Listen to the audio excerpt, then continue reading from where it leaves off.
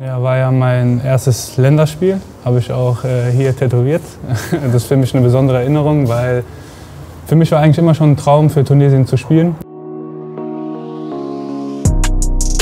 Liebe 96-Fans, es ist mal wieder Zeit für ein Interview aus unserer Akademie. Mein Gast äh, seit vergangenem Sommer bei Hannover 96, die vergangenen Wochen beim U20 Afrika Cup unterwegs gewesen und äh, die kommenden Tage auch für Tunesiens A-Nationalmannschaft unterwegs. Herzlich willkommen, Marc Lamti. Dankeschön.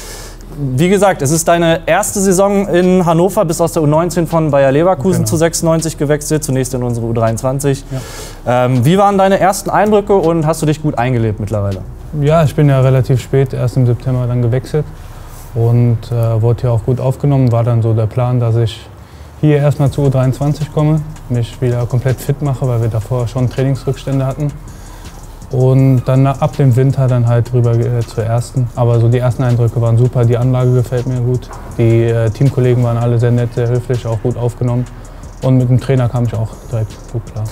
Was äh, waren denn die ausschlaggebenden Argumente für einen Wechsel zu Hannover 96? Äh, es hat damals schon angefangen, dass ich im ersten Jahr äh, in der U19 schon Kontakt zu Hannover hatte und wir vielleicht über den Wechsel nachgedacht haben.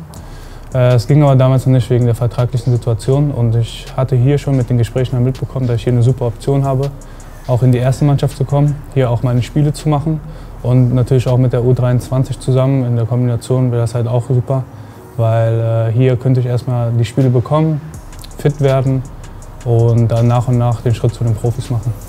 Ähm, pandemiebedingt sind es dann leider erst vier Spiele geworden bei unserer U23. Ähm, hast du trotzdem gut in die Mannschaft gefunden und wie schwer oder wie leicht fiel dir der Schritt vom Junioren in den Herrenbereich? Äh, es ging alles relativ schnell. Also ich bin hier hingekommen, glaube ich, es war ein Donnerstag und wir hatten Samstag das erste Spiel, also war wenig Zeit, sich vorzubereiten. Äh, aber so die ersten Spiele haben wir, wir haben leider verloren, aber für mich persönlich äh, war es ein guter Schritt, auch wieder einfach reinzukommen, weil sechs Monate ohne Spielpraxis war schon hart. Und äh, dann hatten wir, glaube ich, vier Spiele innerhalb von zwei Wochen. War insgesamt schon hart, aber äh, hat mir auf jeden Fall gut getan, um direkt halt reinzukommen. Was sind denn für dich so die größten Unterschiede zwischen Junioren- und Herrenfußball? Auf jeden Fall, dass alles einen Schritt schneller ist. Äh, es geht halt alles ein bisschen schneller und die äh, Körperlichkeit. Also in der U19 war das eher noch ein bisschen, wie man ja sagt, Kinderfußball. Mhm. Und dann, wenn man zu den äh, Profis oder auch zu den Herren gegangen ist, war das alles schon viel körperlicher. Da für dich und unsere U23 der Ball weiterhin ruht, konzentrieren wir uns mal auf deine Länderspielerfahrungen. Ja. Ähm, Frage vorweg, du bist in Köln geboren und in Deutschland aufgewachsen, genau. hast, glaube ich, die deutsche und die tunesische genau, Staatsbürgerschaft. Äh, warum hast du dich für Tunesien entschieden? Äh, es war damals so, dass ich in der U15 das letzte Mal für Deutschland gespielt habe. Äh, danach habe ich auch gar nicht mehr für Deutschland gespielt. Dann kam äh, über einen Verband eine Anfrage, ob ich mal Lust hätte, für die U23 zu spielen. Äh, einfach mal so ein Trainingscamp da mitmache und wir hatten auch, glaube ich, ein paar Freundschaftsspiele. Da hatte ich auch dann zugesagt, aber dann ähm, hat sich das alles ein bisschen verschoben. Ich weiß gar nicht mehr genau den Grund. Mhm. Und dann fing es so an, dass ich halt äh, zur Nationalmannschaft geflogen bin für eine Woche. Und das hat mir da so gut gefallen und ich habe mich auch wohl gefühlt und ich habe gemerkt, die wollen mit mir arbeiten und äh, ich kann mich da weiterentwickeln und auch schneller den Schritt zur ersten Mannschaft machen als bei Deutschland. Und äh, das hat mir einfach gut gefallen. Von äh, Mitte Februar bis Anfang März warst du beim U20 Afrika Cup in Mauretanien war das unterwegs, hast mit Tunesien Platz 4 erreicht. Ja. Ähm, du warst unumstrittener Stammspieler, hast äh, bis auf das Spiel um Platz 3 auch jedes Spiel über die volle Distanz mhm. gemacht. Ähm, welche Ziele hattet ihr euch im Vorfeld gesteckt und äh, wie bewertest du diese spezielle Erfahrung ja. äh, für dich persönlich? Äh, wir waren, wie ich mitbekommen hatte, waren wir mit der U20 seit ungefähr 20 Jahren nicht mehr qualifiziert. Also war erstmal die Qualifikation so ein großer Schritt. Das haben wir dann auch gemacht, da waren wir auch alle fröhlich drüber. Und dann war halt das Ziel schon gewinnen, weil ich denke, wir hatten eine Top-Mannschaft, auch viele Spieler auch noch aus Europa. Und ähm, wir haben davor schon gegen Marokko und gegen Algerien in den Qualifikationsspielen gesehen, dass wir auf jeden Fall eine gute Chance haben. Im zweiten Gruppenspiel gegen Namibia hast du die Führung beim 2-0-Sieg mhm. erzielt. Das war dein erstes Tor für Tunesien. Ja. Ähm, wie fühlt sich das an und welche Emotionen setzt so ein besonderer Moment frei? Ja, war ein super Gefühl. Also da, davon träumt man immer vor jedem Spiel, ein Tor für die Nationalmannschaft zu machen. Und äh, als ich dann das Tor gemacht habe, ich wusste gar nicht, wie ich reagieren soll, weil ich so fröhlich war und äh, war einfach toll. Hast du dir sowas wie den Spielball gesichert oder wie dürfen wir das bei dir vorstellen? Nee, äh, nur das Trikot. Den Spielball durften wir leider nicht mitnehmen, den mussten wir wieder zurückgeben, weil nur begrenzte Bälle da waren. Aber äh, das Trikot habe ich mir auf jeden Fall gesichert. Hast du den 7. Juni 2019 im Kopf? Welche Erinnerungen hast du an diesen Tag? Ja, war ja mein erstes Länderspiel, habe ich auch äh, hier tätowiert.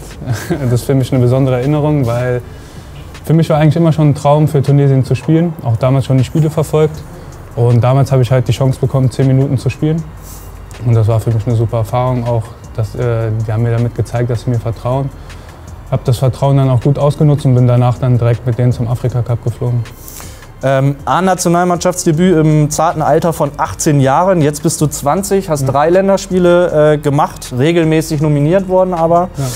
Ähm, wie geht man in so einem jungen Alter damit um, dass man äh, schon Nationalspieler ist und wie groß ist die Gefahr, eventuell abzuheben? Ja, erstmal ehrt das ja einen natürlich. Ähm, man ist erstmal glücklich darüber. Und ähm, abheben war eigentlich bei mir nie so das Thema. Dafür sorgt eigentlich meine Familie, dass ich immer auf dem Boden bleibe. Auch selber bin ich gar nicht der Typ, der direkt abhebt, versucht immer auf dem Boden zu bleiben. Und äh, weil ich ja auch erst dann 18 war, waren halt meine nächsten Schritte, dann in den Profikader zu kommen und auch mich in Deutschland hier durchzusetzen. Was würdest du jungen, aufstrebenden Spielern diesbezüglich raten? Was äh, hält dich am Boden? Du hast es schon ein bisschen erklärt. Mhm. Was sind so deine Tipps und Tricks für Spieler, die es ähnlich geht? Ja, immer neue Ziele vor Augen haben und äh, immer hart weiter arbeiten, weil es gibt immer das nächste Ziel und wenn man das dann erreicht hat, dann sollte man sich neue Ziele stecken und äh, weiter hart arbeiten. In der nächsten Woche bist du dann wieder auf Reisen. Die letzten beiden Qualifikationsspiele stehen an für den Afrika Cup. Als Tabellenführer, sechs Punkte vor Platz drei, seid ihr eigentlich schon so gut wie dabei. Ja. Ähm, steigen da die Chancen auf Länderspiel Nummer vier und äh, wie siehst du generell deine Rolle in der A-Nationalmannschaft? Ja, ich hoffe auf jeden Fall, dass ich da meine Minuten bekomme. Ähm, war auch schon vorher ein Thema in Gesprächen, dass es vielleicht passieren wird.